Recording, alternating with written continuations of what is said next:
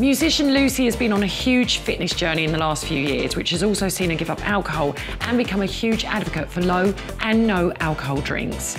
Lucy, you've spoken very publicly about giving up alcohol, so has it been difficult for you when you're going into a pub?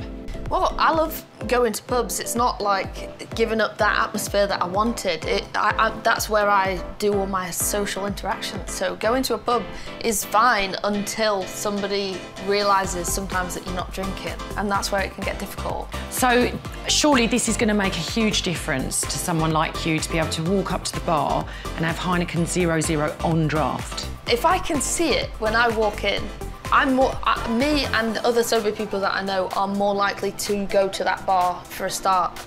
You know, to walk up, see it on the counter, that's what I'm having.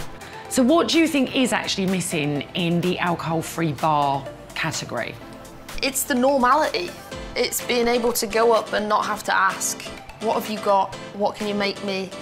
There's already options in front of you and, and really just inclusivity. People being able to understand that you don't drink and not have a problem with it, really.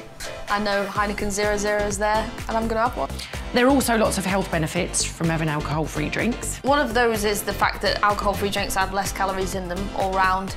And the other is the next morning, you're not going to feel like, oh, I can't get out for that run or I can't get up for that gym session. It's, it's a good thing to be out, enjoying yourself, feel totally normal, wake up the next day feeling great. So you can have a social life yeah, and you can still remain fit and healthy. Absolutely.